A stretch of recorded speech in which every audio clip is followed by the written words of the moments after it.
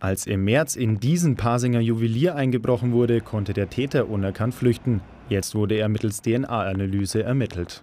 Eine Überprüfung über die Datenbank äh, mit Hilfe des Bayerischen Landeskriminalamts hat dann hier zu einem Treffer geführt und äh, als Täter kommt hier ein äh, oder als Tatverdächtiger gilt hier ein mittlerweile 16-jähriger Rumäne.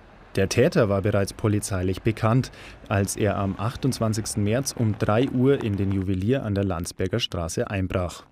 Der zu diesem Zeitpunkt unbekannte Täter ist hier gewaltsam über ein Fenster in das Juweliergeschäft eingedrungen, hat dann dort ähm, 65 Mobiltelefone mitgenommen.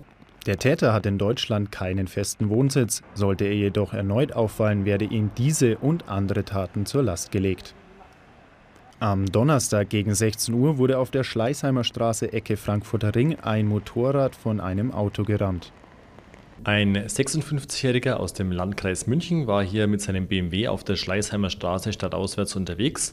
An der Kreuzung zum Frankfurter Ring hat er dann nach dem jetzigen Ermittlungsstand wohl das Rotlicht nicht beachtet, ist in die Kreuzung eingefahren. Der Motorradfahrer wollte vom Ring links auf die Schleißheimer Straße abbiegen und wurde leicht verletzt. Die Polizei sucht jetzt nach einer Zeugin, die den Unfall beobachtet hat. Das ist eine ca. 30- bis 40-jährige Dame, die war mit einem weißen Roller und einem Jethelm unterwegs und fuhr hinter dem BMW. Und sie hat dann nach dem Unfall eben dem Fahrer vom BMW noch vorgeschmissen, dass er bei Rot über die Ampel gefahren wäre. Ähm, wir haben von ihr aber keine Personalien. Daher bittet die Polizei nun um ihre Mithilfe.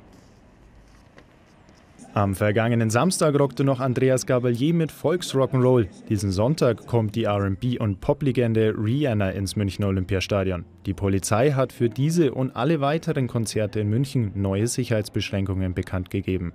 Dazu ist auch ein Mitführen von größeren Taschen, von Rucksäcken oder weiteren sperrigen Gegenständen wie einem großen Regenschirm oder auch eines Motorradhelms soweit nicht gestattet. Das darf ins Stadion nicht mit reingenommen werden. Am Sonntag werden die Gäste gebeten, früher als gewöhnlich am Olympiastadion zu sein, da mit längeren Wartezeiten an den Eingängen zu rechnen ist. Natürlich wird verstärkt auf alles geschaut, was irgendwo verdächtig sein kann, aber die Besucher brauchen hier trotz allem keine Angst haben sodass einem friedlichen Konzert nichts mehr im Wege steht.